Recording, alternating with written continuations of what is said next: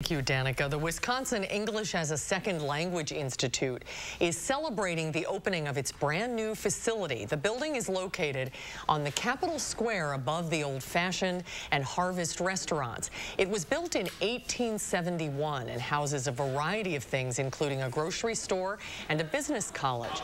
The renovated space will be used as a classroom for the Institute, but also as event space.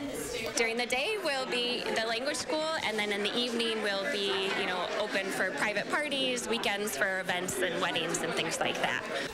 The building is designed to create bigger spaces when needed, as well as smaller classrooms.